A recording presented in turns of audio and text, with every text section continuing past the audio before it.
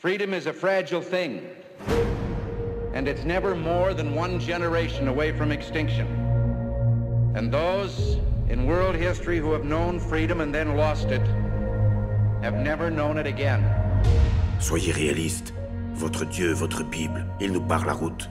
Vous pensez faire un baroud d'honneur en faveur de votre foi. Vous avez choisi cette cause et vous êtes disposé à en être le martyr. Notre foi repose sur un homme qui a choisi une cause et qui en a été le martyr. Je déclare maintenant ouverte cette audience de la sous-commission. À l'heure actuelle, les efforts sont tournés vers des directives éducatives universelles. Quand nous aurons déterminé ce que chaque enfant doit savoir, il sera impératif que chaque enfant l'apprenne. Est-ce que tu te souviens de la visite des services sociaux l'autre jour? Nous faisons désormais des visites à l'improviste. La religion a été bannie de toutes les écoles. Ils enseignent aux enfants à ne pas avoir besoin de Dieu. Si vos enfants n'intègrent pas une école la semaine prochaine, vous serez accusé d'outrage au tribunal et serez immédiatement incarcéré.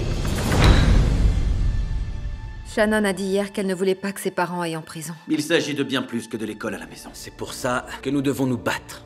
Il le faut. Je voudrais être sûr que vous compreniez dans quoi vous vous lancez. Notre académie enseigne une vision révisionniste de l'histoire. Si Dieu est avec nous, qui pourra être contre nous? Ou ici? À peu près tout le monde.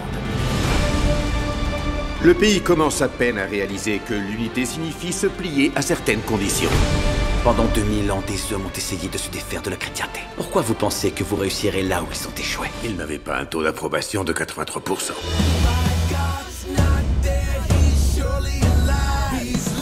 Ça faisait partie de votre plan, n'est-ce pas De tous nous diviser, afin qu'on ne se rende pas compte que petit à petit, vous bafouez toutes nos libertés. L'Amérique est un pays qui est béni. Celui qui reçoit beaucoup doit donner beaucoup également. Vous voyez toutes ces statues et ces monuments dehors? Ils disent vous travaillez pour nous. Je vous rappelle à l'ordre, monsieur Hill Un gouvernement du peuple, un gouvernement par le peuple et pour le peuple.